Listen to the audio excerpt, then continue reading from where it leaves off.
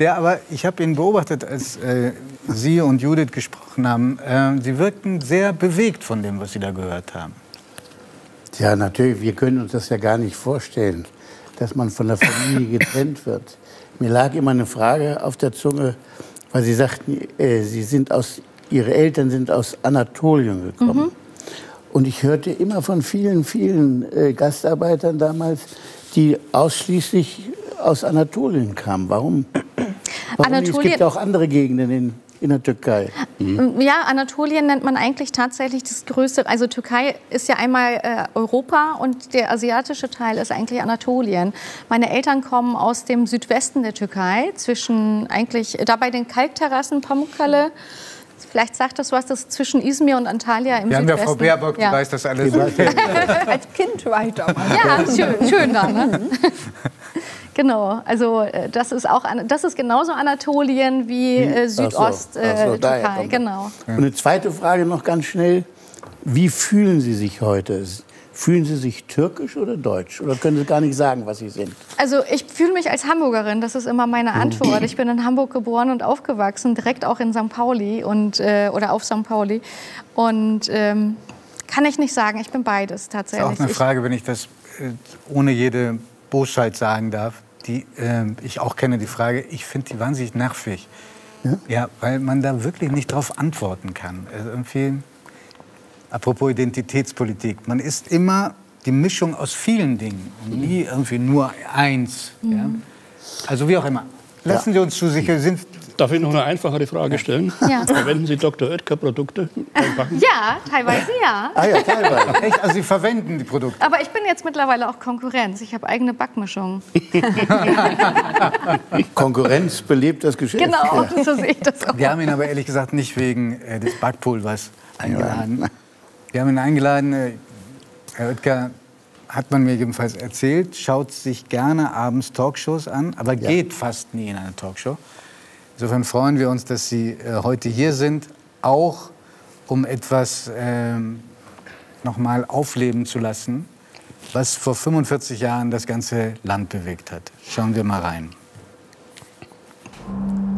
14. Dezember 1976, Technische Universität München. Unternehmersohn Richard Oetker ist auf dem Weg vom Hörsaal nach Hause, wird plötzlich überwältigt und in diesen VW-Bus gesperrt. Dort muss sich der knapp zwei Meter große Mann in die viel zu kleine Holzkiste zwängen. Über verkabelte Fesseln bekommt er darin so starke Stromstöße, dass Brustwirbel und Hüfte brechen. 21 Millionen Mark Lösegeld erpresst der Entführer bei der Familie. Nach 48 Stunden kommt Richard Oetker schwer verletzt frei. Zwei Jahre später wird sein Entführer, ein 36-jähriger Gebrauchtwagenhändler, gefasst. Im Gericht begegnet Richard Oetker seinem Peiniger. Der streitet die Tat ab, wird aber zu 15 Jahren Haft verurteilt und viele Jahre nach seiner Freilassung mit Teilen des Lösegeldes erwischt. Unter den körperlichen Folgen der Tat leidet der inzwischen 70-Jährige noch heute. Doch emotional gebrochen haben ihn die Geschehnisse nicht. Als Vorstandsvorsitzender der Stiftung Weißer Ring engagiert er sich seit Jahren für andere Kriminalitätsopfer und deren Angehörige. Er will denen eine Stimme geben, die nicht die Kraft haben, zu reden.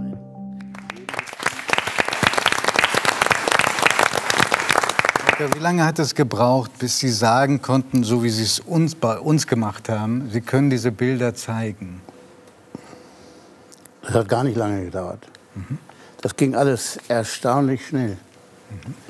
Mhm. Äh, das war für mich selbst überraschend, dass ich psychisch erstaunlicherweise nie darunter gelitten habe.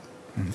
Ganz am Anfang, als ich die ersten zwei Nächte im Krankenhaus war, muss ich wohl geträumt haben und im Traum gesprochen haben. Und dann hat man mir gesagt, da hat man mich aufgeweckt und hat mich gefragt, ob ich äh, wüsste von dem Traum. Nein, wusste ich nicht. Und hat mir vorgeschlagen, doch einen Psychotherapeuten zu mir kommen zu lassen. Und da habe ich eingewilligt und dann kam also nächsten Tag einer im weißen Kittel, der ganz vorsichtig an die Tür klopfte und stellte sich vor, als Dr. Angstwurm. Und da habe ich mir gedacht, na ja, das ist so eine gewisse Situationskomik. und das ist ein ganz besonders netter Mann gewesen. Und wir haben uns äh, zweimal zwei Stunden unterhalten und kamen beide zum Ergebnis, erstaunlicherweise, dass ich nie wieder psychotherapeutische Hilfe brauchte. Und Sie haben auch nie wieder Hilfe in Anspruch genommen? Nein. In den ganzen 45 Jahren seitdem? Nee, nein. Vielleicht wäre es besser gewesen. Das müssen die anderen sagen. Sie wirken ja, ja. nicht so. Sie wirken nicht so. Ja, ja. Nein, das brauchte ich nie. Sie sind ein Mensch mit, so wirken Sie jedenfalls, mit erstaunlich viel Optimismus, auch Lebensfreude. Wie erklären Sie sich das ein Ereignis, das grausamer kaum hätte sein können? Weil es war, wir sind jetzt sehr schnell in, dieser, in dem Zuspiel drüber hinweggegangen, aber es war Folter im schlimmsten Sinne, die sie auch fürs Leben gezeichnet hat. Wir, wir, ohne jede externe Hilfe, was war das, was Ihnen geholfen hat? Warum sind Sie so darüber hinweggekommen? Das ist sehr vielfältig. Also ich habe die ganz tolle Veranlagung, Optimist zu sein. Das waren Sie auch vorher schon. Das war ich auch vorher schon. Mhm. Ich war auch vorher immer schon fröhlich. Mhm. Ich habe das Glück wirklich gehabt, dass ich mich sehr schnell in der Kiste auf ein Ziel konzentriert habe. Also Welches war das? das mein Ziel war es, am Zeitpunkt X, den ich ja nicht kannte, wann ich freikommen würde, aber da war ich ja schon Optimist, dass ich irgendwann lebendig freikomme und dann der Polizei so viel wie möglich Details nennen kann. Mhm. So habe ich mich darauf konzentriert, so viel wie möglich mir zu merken. Ob das Uhrzeiten waren, wann, wann ich irgendwelche Geräusche gehört habe oder Gespräche, die ich mit meinem Entführer geführt habe. Sie kennen ja wahrscheinlich das Stockholm-Syndrom. Das ist dann, wenn man so eine Art, wenn ich das mit eigenen Worten erklären kann, wenn man denjenigen, die eigentlich einem was Böses getan haben, äh, noch dankbar ist für gewisse kleine Gefälligkeiten, die sie einem zukommen lassen. Also ich möchte ja nicht ganz korrigieren, ich will nur einfach hinzufügen, das ist das eher... ein Freund macht, ja? Ja, das ist eine psychologische Annäherung zwischen ja. Geiselnehmer und, und Geisel. Und ich kannte das und äh, habe mir gesagt, also das werde ich jetzt forcieren. Und äh, über dieses Forcieren bekomme ich ja über ein Gespräch, über mehrere Gespräche, bekomme ich ja vielleicht ein paar Details mit, die ich nachher nennen kann. Das hat verhindert, dass ich irgendwie schrecklich fantasieren musste. Ich brauchte nicht in Selbstmitleid verfallen, weil ich ja immer meinen Fest... Eine Aufgabe hatten. Ich hatte eine Aufgabe. Ich war ja immer fixiert auf diese Aufgabe. Das hat mir natürlich sehr, sehr geholfen. Darüber hinaus war natürlich dieser Stromschlag äh, sehr schmerzhaft. Äh, Sie müssen sich vorstellen, wenn Strom durch den Körper geht, dann zieht sich jeder Muskel zusammen.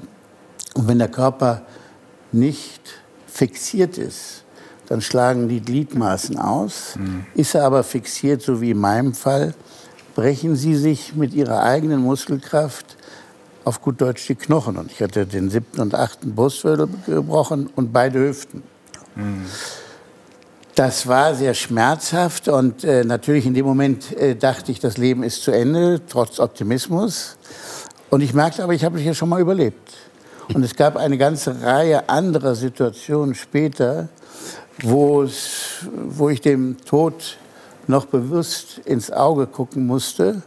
Im Rahmen dieser Entführung oder im, im ja nachher im Krankenhaus auch, aber auch vorher noch im Rahmen der Entführung. Und ich habe alles überlebt. Mhm. Und das hat mir also noch mal zusätzlich Kraft gegeben, mhm. ja, dass man also doch also vieles ertragen kann. Es gibt ja bei vielen Menschen, vielleicht kommen wir nachher noch darauf zu sprechen, weil Sie sind ja Vorstandsvorsitzender einer Vereinigung, die sich um die Opfer von Gewalt, Unrecht, Verbrechen kümmern. Und nicht alle kommen so raus aus so einem traumatischen Erlebnis wie Sie. Aber neben dem Trauma, das man selbst ähm, erfährt, gibt es ja noch eine andere, ähm, ein anderes Phänomen, was einen zerfressen kann innerlich. Nämlich die Wut, den Hass auf denjenigen, der einem das angetan hat. Hat Sie das zumindest in den ersten Jahren nach dem Verbrechen beschäftigt, der Mann, der Ihnen das angetan hat? Nein, überhaupt nicht erstaunlicherweise. Ich bin froh darüber, ähm, dass das bei mir nicht eingetreten ist. Ich habe generell in meinem Leben noch nie jemanden gehasst Und ich habe äh, auch noch nie Rache verspürt. Aber das können Sie nicht lernen, glaube ich. Und das können Sie sich auch nicht vornehmen, sondern das haben Sie entweder mit der Geburt, mit den Genen reinbekommen äh, oder eben nicht. Und ich habe das Glück gehabt, denn letzten Endes Rache und Hass bindet ja unnötig Energie. Mhm. Sie waren aber derjenige, der den Mann praktisch äh, zu der Höchststrafe dann äh, verurteilt hat durch Ihre Aussagen. Die Richter haben ihn verurteilt, aber maßgeblich war dafür Ihre Aussage und die Genauigkeit Ihrer Aussage. Das muss so beeindruckend gewesen sein, dieses halbe Jahr vor Gericht damals, dass der, der inzwischen verstorbene Gerichtsreporter des Spiegel über Sie geschrieben hat, Gerhard Mautz, ähm, man kann sich als Opfer einer Tat nicht fairer, nicht menschlicher verhalten. Also größeres Kompliment gibt es nicht. Er hat dann 15 Jahre bekommen und ist danach freigekommen und hat sich nach der Freilassung äh, obszön verhalten, aber auch schon während des Verfahrens, weil er hat alles abgestritten, sodass sie am Ende der Verdacht stehen blieb. Sie wollen ihm das ähm, irgendwie zuschieben, und, äh, obwohl er unschuldig ist. Hat man da nicht das Gefühl, 15 Jahre sind eigentlich viel zu wenig? Eigentlich möchte man so einen Menschen nie wieder frei rumlaufen sehen. Nein, ich glaube, das hat man, wenn man Rache empfindet. Mhm. Und äh, ich werde natürlich immer gef wieder gefragt, ja, ist das gerecht? Ja, da stelle ich immer die Gegenfrage, ja, was ist denn gerecht? Es ist viel, das ist, das ist ein, das ist ein äh, schwammiger Begriff im Grunde, Gerechtigkeit. Wir streben zwar immer alle nach Gerechtigkeit, aber was ist gerecht? Schauen Sie mal, äh, dieser Mann hat 15 Jahre bekommen und ich sitze heute immer noch gehbehindert hier. Ich lebe zwar, aber ich habe mit den Folgen der Tat körperlich natürlich zu kämpfen. Für mich war das Allerwichtigste, dass ein Urteil gesprochen wird, das präventiven Charakter hat. Also es ist ja, ich war schon äh, Opfer eines, äh, einer anderen Entführung. Also, es, also äh, ihr, ihr, Entführer war ein, Nach, äh, ein Nachahmungstäter. Er war ein Nachahmungstäter. Ich glaube, für einen Springreiter, der entführt worden war. Genau. Wenige Wochen vor Ihnen, ja? Genau, und es waren ja noch äh, drei andere in dem Jahr entführt worden. Und er hat das die äh, Entführung des Springreiters dann zum Anlass genommen, sich überhaupt erstmal das Opfer zu suchen. Er, hatte, er war ähm, äh, vorbereitet auf eine Tat, hatte aber noch kein Opfer. Mhm. Und ich will jetzt keinem hier zu nahe treten, äh, aber es gab das Magazin, Wirtschaftsmagazin Kapital. Und in diesem äh, Wirtschaftsmagazin Kapital ist zwei Monate vor meiner Entführung über meine Familie geschrieben worden. Und da wurden wir Kinder aufgeführt mit Wohnorten. Und da wurde, da wurde mein Wohnort Freising genannt. Und das kam ihm natürlich ganz gelegen, weil er in München wohnte. Es ist nämlich rausgekommen, dass er das da gelesen hatte. Genau, mhm. genau. Mhm. Und äh, dann fing er halt mich an zu observieren und äh, äh, hat dann am 14. Dezember die Tat durchgeführt. Mhm. Als er freigelassen wurde, hat er wieder das Unschuldslamm gespielt, wurde auch eingeladen äh, bei einer Kollegin einer bekannten Talkshow.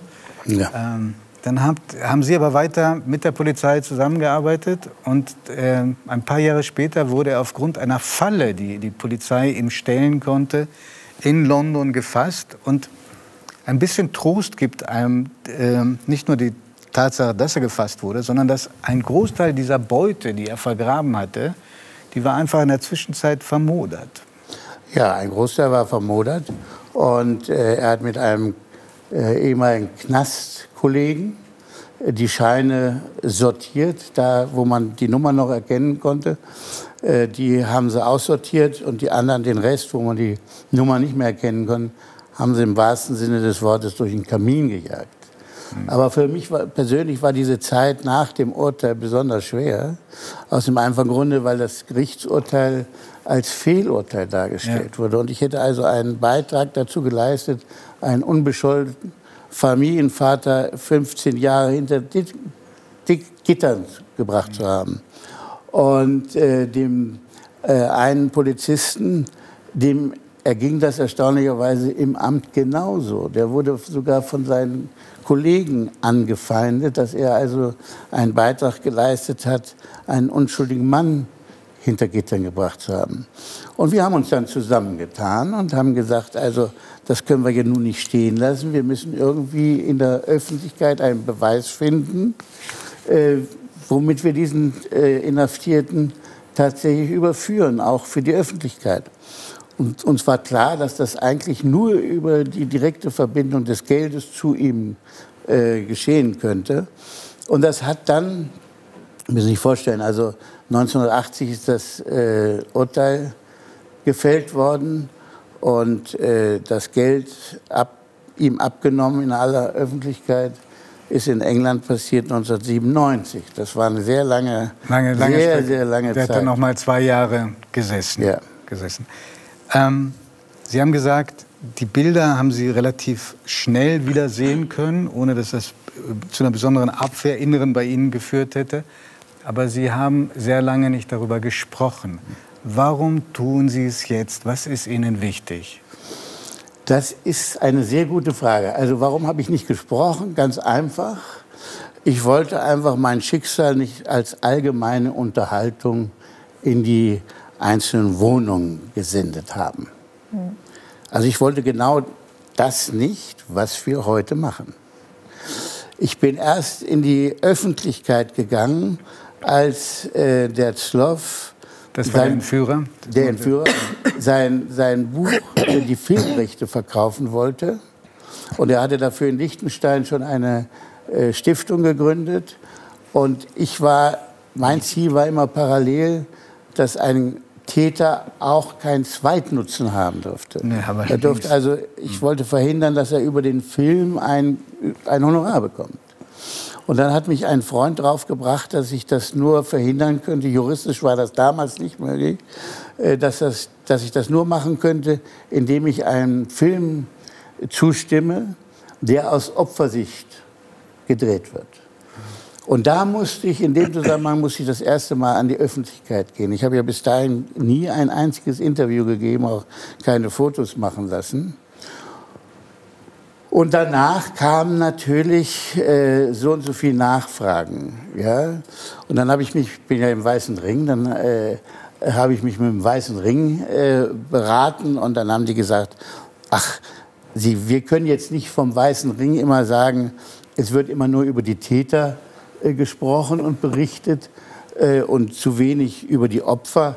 Äh, jetzt müssen Sie einfach das über sich ergehen lassen. Und äh, dann wurde durchgesprochen, in welche Talkshows. Ähm, und so kam es dann, dass ich also in die eine oder andere Talkshow äh, gegangen bin. Aber das ist schon lange her. Und äh, ich stellte fest, dass erstaunlich großes Interesse war. Und äh, ich habe mich immer gefragt, ja, warum interessieren sich die Menschen eigentlich? Wirklich? so? Das kann man, ja. Doch, doch. Sie sehen ja auch hier, wie alle Ihnen zuhören. Ja, damit hatte ich gar nicht gerechnet. Ähm, ich weiß nicht, ob Sie noch auf das Thema kommen. Ich habe ja einmal gesagt äh, und auch gefühlt, ähm, dass mit dem 14. Dezember eine ganz, ganz große Hand in mein Leben gekommen ist und mich aus dem einen Leben 14. rausgenommen hat. Dezember war der Entführungstag. Ja. Und in ein anderes geworfen hat. Weil ich, ich hatte das Gefühl, weil ab dem Zeitpunkt waren mehr oder minder alle Menschen mir gegenüber verändert. Die, anderen waren, die einen waren besonders neugierig, die anderen äh, haben sich vor mir weggedrückt. Regelmäßig, Weil Sie nicht wussten, wie Sie ihnen begegnen sollen. Genau, weil sie nicht wussten, wie sie mit mir umgehen äh, sollten. Äh, es war eigentlich keiner mehr so, wie er früher war. Weder. Freunde, Familie noch Fremde. Auf einmal hatte ich mit ganz fremden Menschen zu tun, äh, die sich dann für mein Schicksal interessierten. Herr Oetker, ich sehe wohl alle Risiken, die ein Mensch wie Sie eingeht, wenn er dann doch spricht. Ja. Und was Sie äh, berichten, da, da sch- schämt man sich zum Teil fremd für das, was in dem Mediengeschäft passiert ist. Mit diesem Fall. Aber ich möchte Ihnen sagen, es ist gut, dass Sie sprechen. Vielen Dank, dass Sie gekommen sind. Sehr gerne.